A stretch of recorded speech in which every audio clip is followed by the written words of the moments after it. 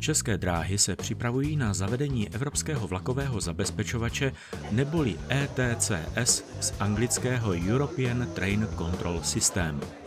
V roce 2018 proto vypsali zakázku na instalaci tohoto systému do více než stovky již provozovaných vozidel.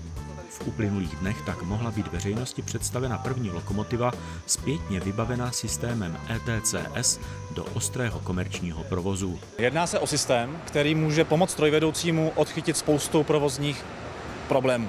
To znamená, dnes je ten systém závislý primárně na vůli a pozornosti strojvedoucího.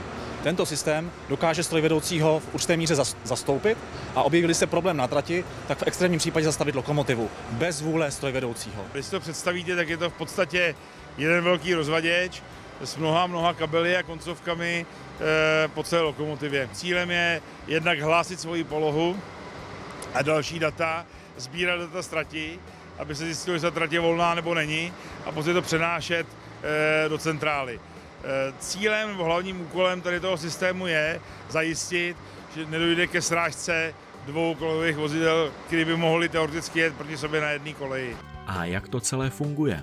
Ten systém ETCS, Evropský vlakový zabezpečovač, má dvě části. Jedné podél trati a druhé mobilní na lokomotivě. Průběhu jízdy ta mobilní část komunikuje s tou stacionární vlastně části podél trati a ta dává tomu vlaku informaci, jakou rychlostí by se měl pohybovat, v jaké vzdálenosti před ním se nachází další vlak a případně upravovat rychlost toho konkrétního vlaku, blíží-li se nějaká překážka. Ten zabezpečovač je v podstatě připraven v případě nebezpečí vyslat signály do zbytku lokomotivy a v podstatě odstavit, eh, odstavit ten příkon.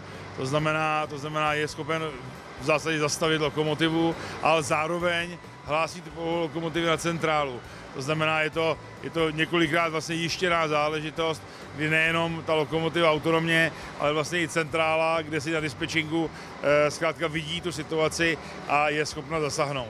To ETCS té lokomotivě je takzvaně tříkanálové, je to značka Atlas, naše značka, která v podstatě e, zajišťuje, že kdyby náhodou jeden kanál nefungoval, jsou ještě dva záložní, čili maximální možný zabezpečení. České dráhy na zavedení systému ETCS připravují také strojvedoucí, kteří už procházejí potřebnými školeními. Je to důležitý krok k větší bezpečnosti na české železnici. Eh, zavádíme postupně evropský zabezpečovací systém. Eh, to znamená, jak investovat do samotné infrastruktury, tak také do eh, samotných vozidel. Ta nová se už kupují vybavená jednotkou ETCS, ale do těch starších je nezbytně nutné dodatečně tu jednotku namontovat a ono to znamená zároveň eh, zásah do podvozku, zásah do střechy toho vozidla, do strojovny i do kabiny, takže je to poměrně eh, rozsáhlá eh, věc a zároveň je poměrně nákladná. Výjde na téměř 20 milionů korun.